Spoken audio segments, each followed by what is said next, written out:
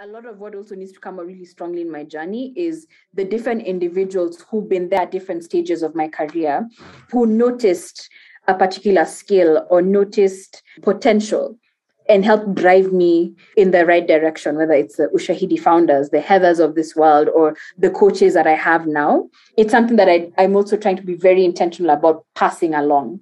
Looking at my journey, I am someone who joined the team at the lowest level and I grew up the ranks. It would be interesting to see somebody else on my team do the same thing. Hello and welcome to Inspiring Open, candid conversations with influential women whose careers and open ethos have pushed the boundaries of what it means to build community and succeed as a collective. I am Betty Kankam-Boadu, a journalist and women's rights advocate. Join me as I explore the fascinating backstories behind Africa's most tenacious female personalities. Inspiring Open is a podcast series from Wiki Loves Women, a project of Wiki in Africa. Be inspired, be challenged, be bold. On Inspiring Open today is Angela Lungati. Angela's interest in technology started when, as a little girl, she would play with her father's computer. Now, that interest has evolved into a passion for building and using appropriate technology tools to impact the lives of marginalized people. She has over 10 years of experience in software development, global community engagement, and non-profit organizational management. She is the executive director at Ushahidi, a global non-profit tech company that helps communities quickly collect and share information that enables them to raise voices, inform decisions, and influence change. Angela sits on the Creative Commons Board of Directors and is also a co founder of AkiraChix, a non-profit organization that nurtures generations of women who use technology to develop innovations and solutions for Africa. Let's get right into the conversation. Let's start from the very beginning. Tell us about your childhood and how you were brought up. Okay, so um, fun fact is I was actually born in Ukraine. Uh, my parents were in school at the time. I think I was born when mom and dad were both in second year. Um, so yes, born in a very very cool country. um, then I probably spent about the, the first year and a half of my life with them while they were juggling school um, and, and having a small baby. Uh, but at some point, I think it became critical for them to kind of focus on studies. So I was sent back and I lived with my cousins for about six months before my mom decided, nah, I can't, I can't do this. I can't be away from my child for too long. So uh, she came and got me um, and I went back with them. So was there with them until they graduated, and then we moved back to Kenya. I have absolutely no recollection of that that that period in my life. Um, I hear stories that when I came back to Kenya, all I could speak was Russian. Um, now I can't speak a single word of Russian. but uh, yeah, that's that that's basically you know um, my early early life. I am the firstborn um, in a family of well three we were three children. My brother died in 2006 oh, so it's just me and my my younger brother who's no longer young anymore. He's he's 18 about to uh, finish high school. So that's uh, fairly interesting. Um, i i guess you could say i come from a very close knit uh, very loving and involved family. Um, had very strict parents very very strict parents. Um, but and now in adulthood i can see why. I, I can actually see why they were so um, keen. Being the only girl being the first one um, and just the kind of world that we're living and just trying to make sure that they were giving me the best um, that they possibly could. Um, fairly humble upbringings. I mean when we moved back to kenya we moved into um, do they call them studios? It was like a, a one bedroom a one bedroomed house. And then as time went by as my parents career grew we we moved into bigger houses. Yeah that's how i would describe my my childhood. Um, but with lots of very fond memories um, of having very involved parents um, who actually inspired me to do what i do now. Your parents are engineers and your love for tech started when your dad brought his laptop home right yes it is so um yeah, my, my mom and my dad were studying engineering at the time that they met, and when I decided to, you know, bless the world with my presence. Um, so all through my childhood, I have memories of dad tinkering with soldering irons and things like that. Um, and then they both got into the workforce here in Kenya um, as engineers. So at I was always drawn to do what mommy and daddy were doing. I think every, most, if not all children, look up to their parents and like, oh, I'd really like people to go and do that. And so I always knew from a very young age that I wanted to do something in engineering because I proud I would proudly announce my mom is an engineer, my dad is an engineer. So I think my dad came home with one of his his his work laptop. Um, was I 12 probably or somewhere about that age. And funny thing is we weren't doing anything very specific. Like it wasn't anything hardcore. It was we used to play this game called captain claw. That was like you'd find me and my younger brother at the time just huddling around dad and i was intrigued. And that is where my my love for tech kind of grew. So i'd go to school and in the computer classes because as much as we'd play that game, I would still kind of tinker around with Word and Excel, etc. I'd always find myself feeling like I'm a bit ahead of the class to some extent because of the things that dad was showing me. And I thrived off of that. So my my love for tech is something that was ignited by my dad. And you went ahead to study computer science. Yes, I did. I went to Kianda School. Kianda School is where I went to high school. And once I was done with that, I enrolled at Strathmore University here in Nairobi in Kenya. Um, first, at first, it was to do um, a diploma in business information technology. So, what tends to happen after you've graduated from high school is you have about a two year gap between the point you're then admitted into into university and for me i didn't want to spend that two years doing nothing so i enrolled in a course thinking that okay i can you know wait to see which university i'm called to. At the time i wanted something purely computer science. Um, i think it was either jq um, jomo kenyatta university um, or kenyatta university. Um, but then strathmore was there and was like okay let me go ahead let me go and tinker around just keep myself busy and still do something along the lines of what i like which was which was tech. But as i got deeper into the course um, you know, we'd you know dive into programming but then there's also this element of how the tech is applicable in the real life um, on, on the business side of things that really drew me in. So i graduated from that course um, with the highest honors and decided you know what instead of trying instead of leaving this and going to start something else uh, fresh somewhere else why not use these credits to then join the degree program so I then enrolled into the bachelor's um, bachelor's program for business information technology, um, and I got in at about I think in, in second year because I'd completed the diploma and just went through the entire program and graduated with first class honors in 2011. In between the time you graduated and the time you joined Ushahidi, what did you do during that period? So it's interesting. It's like there's actually an overlap. I should have mentioned this while I was telling a story. Clearly, I'm a bad storyteller. Anyway, um, so I met uh, Jessica Colaço while I was at Strathmore University. At the time, she was working for the Strathmore Research and Consultancy Center. So I think I was probably in second year or th- no, the second year where I worked with her um, as a on a project somewhere in Machakos as a data collector, and that's where our relationship grew. And at some point she transitioned out of the university to go do this very exciting thing you know be the the manager of nairobi's first innovation hub. So she invited me over for the launch to volunteer and that's where i got to meet you know the the tech scene in kenya. I think before that the concept that most of us who were in school had about the tech scene was you know you're either working in you know very formal offices where you go in wearing a suit and sit behind a desk and do A, B, C, and D things.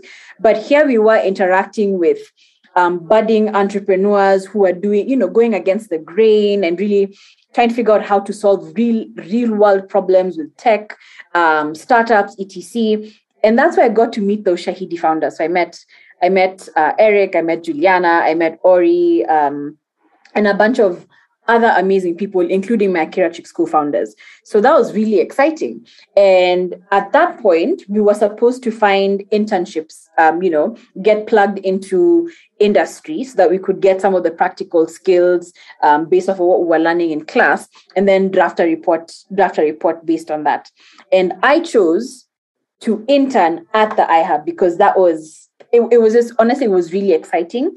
And when i look at when i look back now that was such a defining moment in my career quite honestly. If it wasn't for my interaction with people at the ihub i would probably be sitting behind a desk somewhere. Not to say that it's a bad thing it's just there's an unconventional way about how the nairobi tech scene um, or just tech in general nowadays um, operates. It's not just, you know, your usual kind of go into an office at this time and at this time. It's it's really focused on the impact that the technology is having and the outputs. And I think that was the beginning of all of that, just revolutionizing how we're thinking about work um, generally. So I interned at the iHub for three months. Um, and that's also when I got really plugged into the Ushahidi community a bit more. Um, it was probably two, no, three years into Ushahidi's existence. The first project that I volunteered for was the, the elections project, mm. monitoring the constitutional referendum of 2010. Okay. And again, my interest was really was really plugged in. So after my internship was done, I went back to school just really motivated and plugged in and i i would get many more of my friends to you know whenever iHub was having events hey come in have a look at what's going on there so i was still kind of very plugged into the tech community while i was still in school so the point when i was graduating I reached out again to Jessica and I also reached out to Eric about, hey guys, I'm just about to finish really fi- trying to find a place where I can get plugged in, in into the in, into the workforce. And I think at that point there was a bit of a tussle because Jessica wanted me to go back into the iHub, but Eric was like, this one would be good at, on the Ushahidi end. So I got into Ushahidi as a junior software developer. Um, and then graduated three months after joining the team um, as a junior software developer. What is the work of a junior software developer? So at the time, um, well, a software developer generally is someone who's actively involved in building the technology as well as maintaining it. Um, and of course, given that I was coming from school, as much as I had some experience, still needed some guidance from the senior. So I came in kind of shadowing the amazing developers who are part of the, the engineering team of Ushahidi. So at the time, my role was you know identifying and fixing bugs building a couple of features here and there but not so heavy on that um, but then given my social nature which I think goes against the grain of what many people think about um, developers. I'm also someone who's very passionate about engaging with people. And so I would find myself in spaces where, as I was trying to find those bugs to fix, working really closely with the people who are experiencing them. So this is, I will say, A, B, and C, D is not working. That will then push me into a mind space of, okay, let me figure out exactly what's causing this problem for this person and then figure out how to fix it. So a lot of the bugs that I was fixing were actually coming directly from feedback I was getting from people I was engaging with on the other end. So it's kind of like user support that then feeds into in, into the, the development work. So that was a beginning of what many people term as being a human bridge began because I understood, I, I had a good understanding of what challenges people were facing on the on, on, on the on the user front and finding a way to then translate that into a feature that would then be would then be helpful so that was what my role entailed um, in the first few years of my life as an ushahidian. You know i really love that you get to bring who you are to the job. So from here you got promoted to community developer liaison. How different was this role and what skill sets did it require? One, one, one thing to, to be very clear about is the role that community engagement has played in Ushahidi's journey. Um, there's an element of people being able to learn and grow from one another, just a lot of knowledge sharing. And then there's also a strong bit around um, the community being a part of actually building the tool itself, right? Um, and that's a lot around the, the open source culture. And so at the time, our director of community engagement had a you know very very strong, amazing woman who to this day I think I, I really credit a lot of the the progression in my career to um, Heather Leeson. She she had to balance out um, the technical the, the, technical end of things as well as the user end really trying to nurture both of those communities. Nurturing the users to really become self-sufficient trying to surface knowledge um, around best practices and things that people have learned but at the same time also trying to nurture this open source community the, the group of developers the people who would be identifying bugs and sending in pull requests. And you know, for, for her and the leadership team, they, they noticed that aspect of me being able to engage uh, well with people and felt that I would add a lot of value in supporting Heather um, on that work. So, really coming into focus specifically um, on supporting and um, nurturing the, the developer community. So, that's what that de- um, community developer liaison role was all about. And how many uh, years were you in that role? Not long because heather heather transitioned out a couple of months later. So i ended up taking up the mantle of being the community manager and then uh, along the way becoming the director of community engagement. So i then had to hold the whole the whole spectrum of community engagement our users as well as the um, as well as the development community. And then you became a co-executive director and eventually an executive director and I think when you go through the ranks like that, there is a certain sense of ownership you bring to the job. Not so. Yes, in in in very many ways. I think the one of the the biggest reasons um, that I got from the board when they were offering me this role was the the strong sense of advocacy for Ushahidi's roots and the impact it creates. Um, as one of the strong reasons why they felt that I I was the best person to take over. Now, the thing to keep in mind is that um, during my journey as director of community engagement, there are also some really key milestones in Ushahidi's journey where it did feel like there was a bit of a tug and pull between um, the community's existence versus you know Ushahidi's general existence, and some of which that I probably understand much more now um, as a leader. So this is not a this is a story that's not unique to very many. You'll talk to many nonprofits out there, and they'll tell you more or less the same thing. At some point in your in your journey, you have to figure out how to keep the lights on. You have to figure out how to become self sustainable. And at that point, for us, what seemed like the best path forward was rolling out a software as a service model. So basically, um, charge you know put some feature gating on on the platform itself and start charging fees for some of those features now, of course, given our history, open source, um, people not, you know, people being able to access this tool for free, there was going to be some natural resistance to why do I have to pay for this now when I've when I haven't had to pay for it before. Um, and at the same time, for us, also think about like this is a completely new space. The kinds of people who'll be paying for a service and um, the kind of support they will need will be very different and there's a bunch of things that for i personally feel that if we had done differently we probably have different results. Um, things like we it, it took us it took us a bit of a lot of time to roll out a new version of the platform. And then at the point when we did roll it out we didn't provide a um, a migration path from people on the older version to the new one that I think that's where the friction around what our revenue generation goals versus what our community goals are. And I ended up becoming a strong voice for we need to stay, we need to stand firm around who we are as an organization. We need to stand firm on what we stand for, stand firm on making sure that people can access our tools, stand firm on being able to provide value in the tool itself.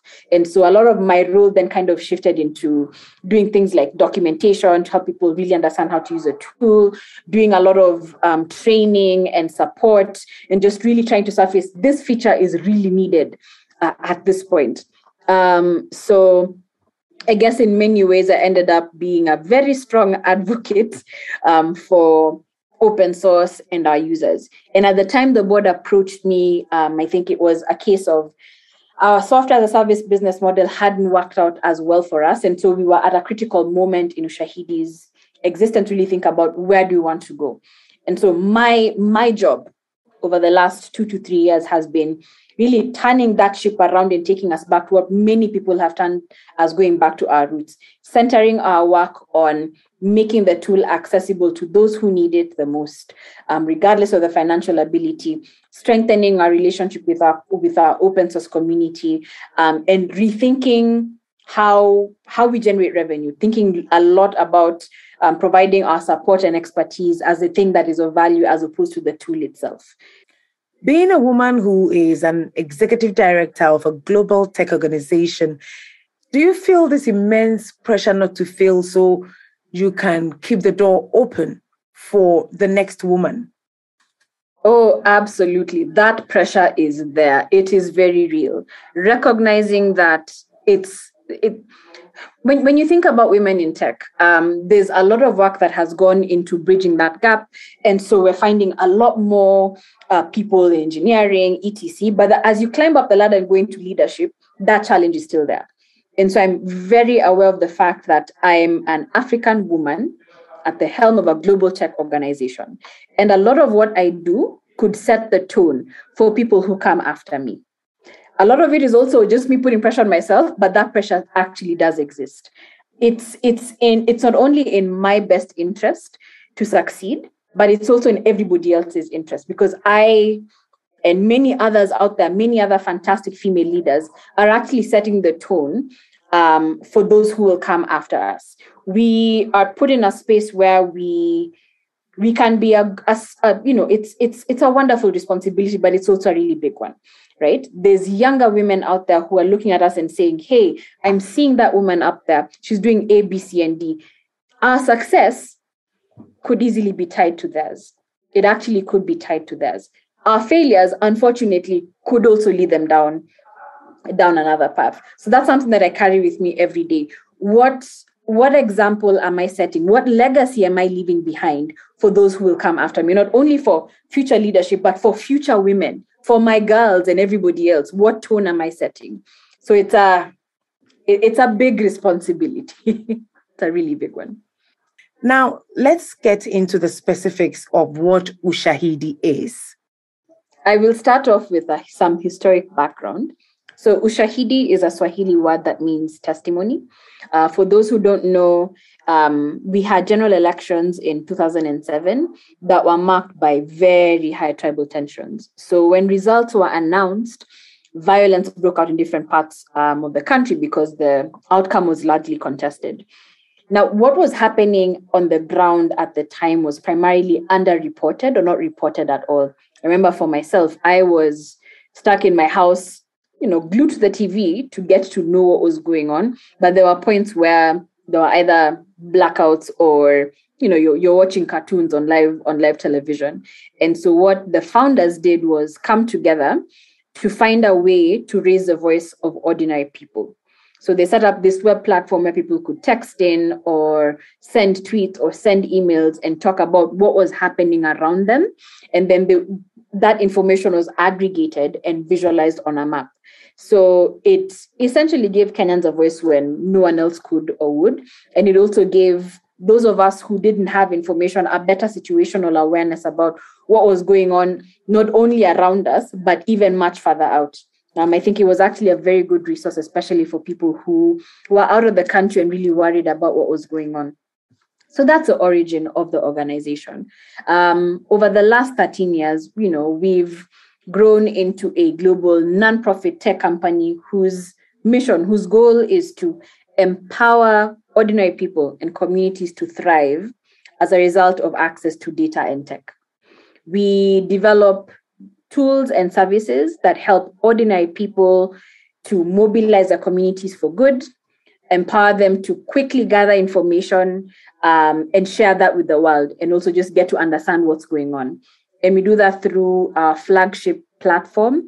Um, that's a crowdsourcing tool, basically a tool that allows for massive data collection from different sources. You have SMS, email, Twitter, smartphone applications, and the web to help you pull in all of that information into one place, quickly organize it, um, and visualize it in a way so that you get a, a, a near real-time feed of what's going on, but also help you figure out how to best res- best respond to to what's happening around you. It's been used in various various categories of social impact, looking at crisis response. The Haiti earthquake is the one that we're probably most famous for, uh, the Nepal earthquake, most recently for COVID 19, just as a way of connecting citizens with people who can help or just generally tracking what's going on at a time when very little information was being made available. It's been used a lot in the human rights space for advocacy. So just surfacing a lot of what might be going on um, to create awareness, but then also hold people to account in some way um, also using the good governance space, so election monitoring and corruption mapping. Think of it like whistleblowing. Hey, I saw this happening, and then being able to forward that to people who can who can then respond. And right now, really thinking very strongly about the role we can play um, in in the climate change space. So that's that's Ushahidi in a long nutshell. Can you go into details the reach of Ushahidi now and your feelings about how technology from Africa is being exported to other parts of the world because this is not the place the world expects tech to come from with all the problems that we, we have. To this day, 13 years later, we are always mesmerized when we find an Ushahidi instance in a country that we never thought it would ever be in. Um, there's, the tool has been used in more than 160 countries in the last 13 to 14 years. Wow. Um, it's been translated into more than 45 different languages and deployed more than 200,000 times. A tool that was born out of problems you always tend to associate with Africa low bandwidth, bad governance. And I'll start answering your second question now, just because I'm in that train of thought. But Africa has always been seen as a recipient, you know, of, of, of innovation. But here we are.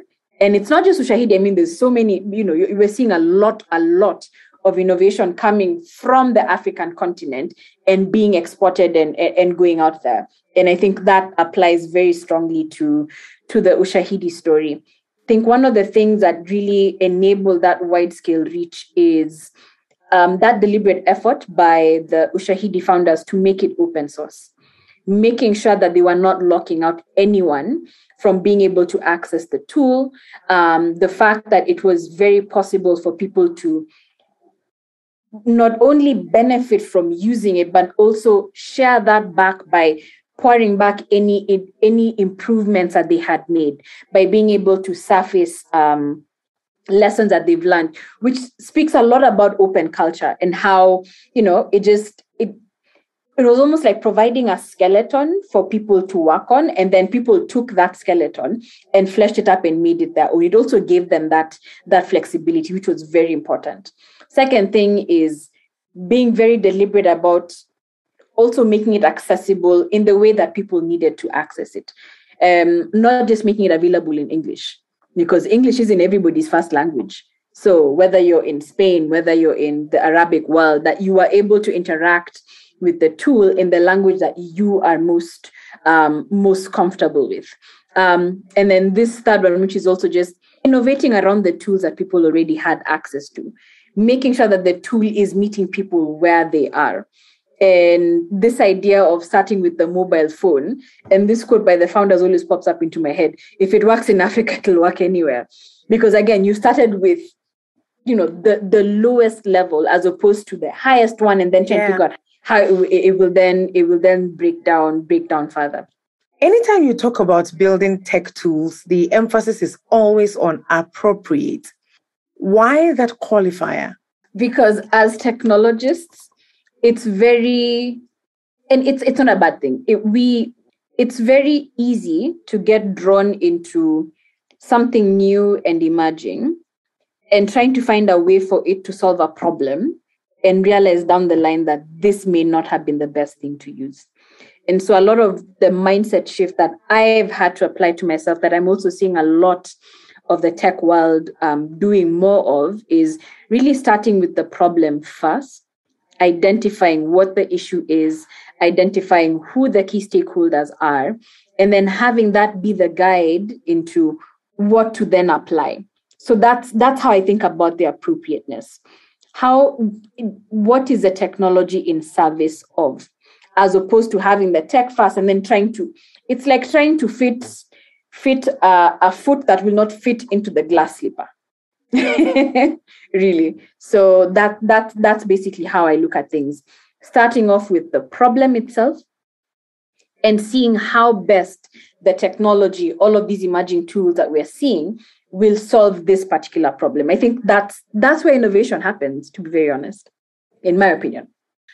Yeah i share the same opinion too. What would be the use if the tool is not the right one to solve the problem you know? Talk to me about funding and how you access funding and how challenging or easy has it been to keep Ushahidi sustainable?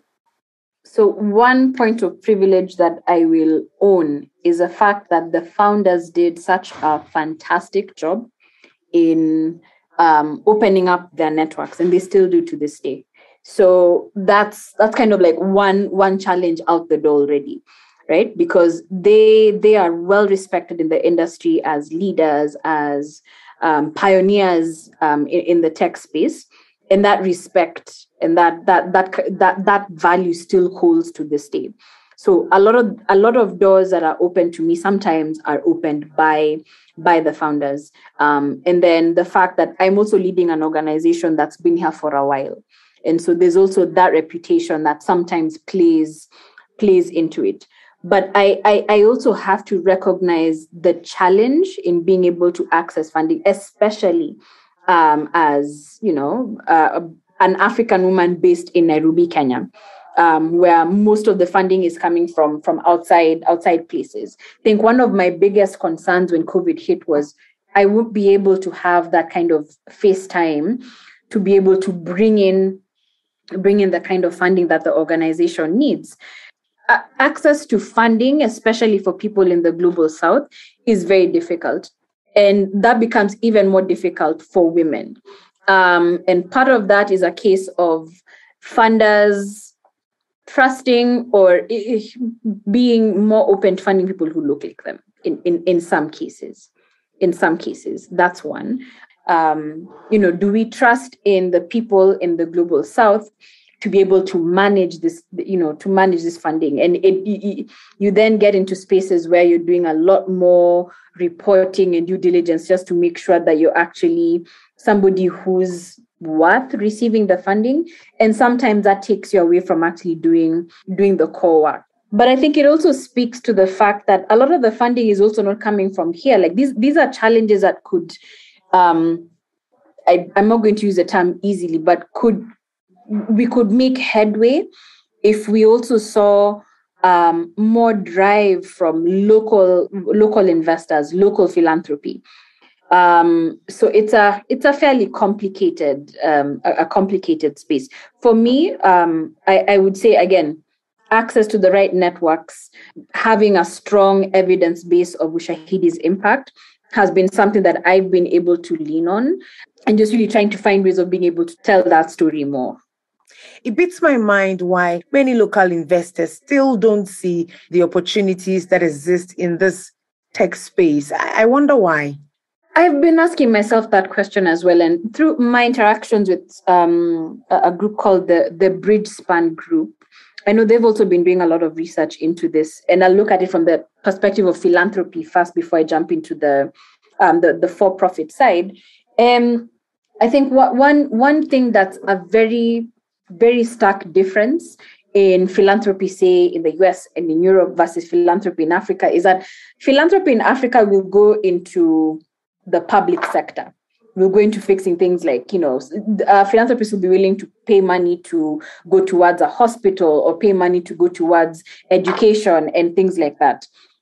When it comes to some of the other, the you know, the US and in Europe, etc., for them, some of those systems are already in place and some of them may work or rather work much better. So those gaps in the public systems might not be as big, which opens up the door for them to be able to invest in some of the value add, you know, some of the value add that nonprofits would bring around some of those sectors. But for us in Africa, it's very basic. And so I also do understand if someone has a choice between, okay, I need to put this this school here doesn't have adequate resources. I'm going to put my money into that rather than putting money into a tech organization like mine. While it's something hard to swallow, I can understand where that comes from. So that's a very that's a distinction to make um, around the the factors motivating philanthropists um, and the kind of um, environment that they're operating in here versus everywhere else.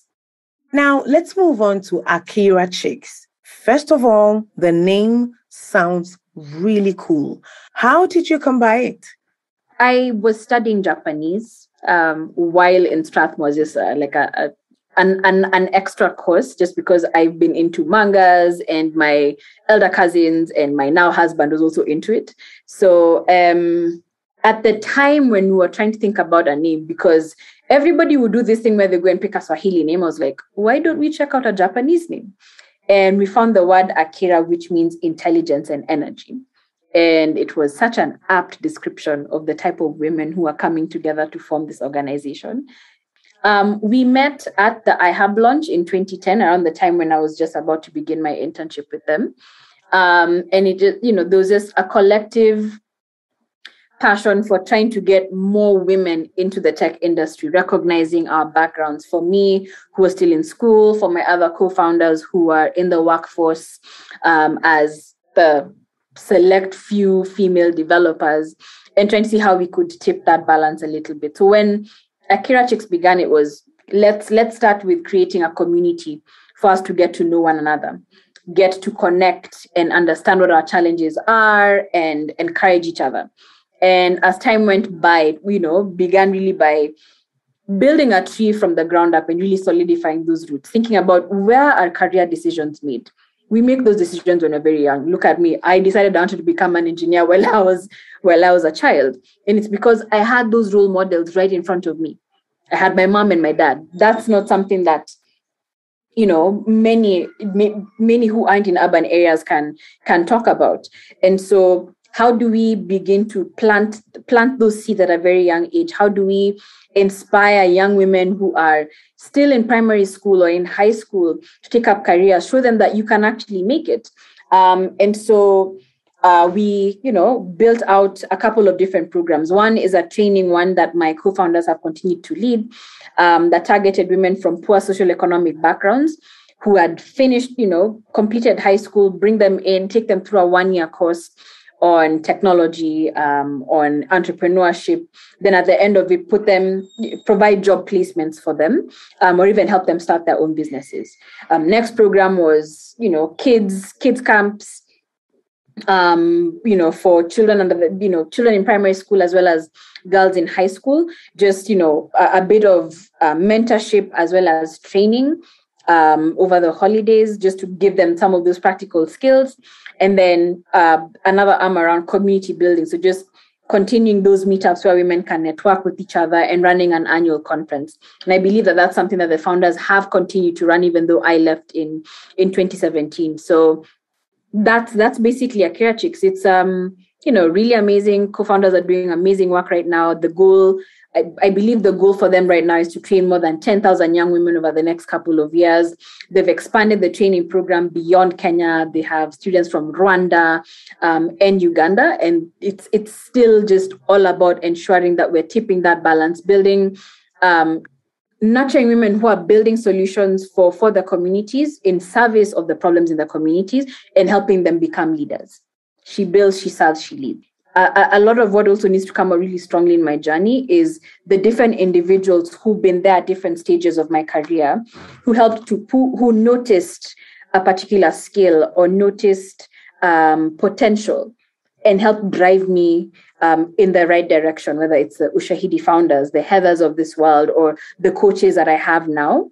It's it's something that I, I I'm, I'm also trying to be very intentional about passing along looking at my journey, I am someone who joined the team at the lowest, you know, the, the, the, the lowest level, and I grew up the ranks. It would be interesting to see somebody else on my team do the same thing. I am the classic example of what mentorship and support does. I love that. It's a beautiful thing to pay it forward after you have received.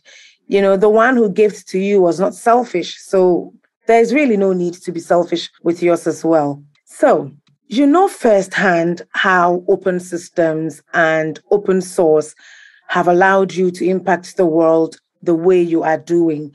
Talk to us about your world of open. Open is all I've known my entire career. Um, and I I do strongly feel that open open has probably led me to where I am today, whether it's in terms of the kinds of groups of people that I've been able to interact with, the knowledge that I have been able to amass. Um, you know, it's from things like the the technical skills. You know, there's even at the point when I was actively building on, on the on the tool itself, there's so much value and so much that I would learn from our open source contributors, whether it's around like you know something small here and there, or even just learning how different cultures work. Um, this aspect of knowledge sharing is something that really thrives in open systems.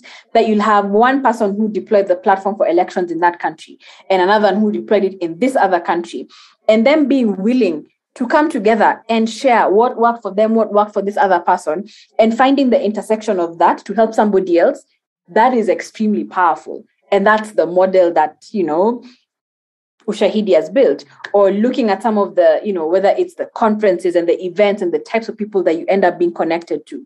Look at the MozFests of this world. Look at um, all things open and the kinds of opportunities it exposes you to um, like-minded individuals different ones. Um, it's there's such richness in being open than being closed to be to be very honest. There's whether it's um, skills development whether it's um, knowledge sharing whether it's access to networks it's it's it's wild to be very honest. Your husband is also a software engineer Yes, um, he is a senior. Well, he's a senior software engineer with a company uh, here in Kenya. I wonder how your home is like. wow. Well, I will describe it to the best of my ability. There are a lot of gadgets. There are quite a lot of gadgets. Some used, some unused yeah he has because right now um, we we oscillate between working from home and working from the office because of covid mostly working from home. He has his own setup in one one room. I have my own setup in another room. Um, and at some point our eldest our eldest daughter was actually uh, you know doing online classes um, in in the in the office space that i work out of so you'd come in and find she's on her laptop there, mommy's on her laptop there, daddy's on his laptop on the other end. So yeah. Tech family. oh yeah, we're we're proudly so. Proudly so. In yes. fact, our struggle right now is really teaching the kids to embrace boredom and move away from the gadgets ah. move away from gadgets. So that's meant like for us, because I mean our core work really does need us to be on on our machines. We have to be very intentional about the times when it's just us with the family. Like take a step away from the machine, from the phone or whatever it is. So yeah, right now I think our, our big struggle is like my my youngest comes in and she's like, "Mommy, I want to have a meeting," because she's so used to mommy telling her I am in a meeting while I'm on my laptop. So there'll be times like I've gone and gotten my lunch break. I'll come find her plopped on my chair. Quiet, I'm having a meeting. I do not doubt that they will follow in our footsteps. I think so. I, I think they'll catch the tech bug as well. I, I, yeah, and unless there's a very strong aversion to who we are as people, they are going down that path and and I think it's good, you know, like I think we've both said during this conversation, like we need more people, particularly women, to get into tech. And if they can catch the bug at an early age, why not?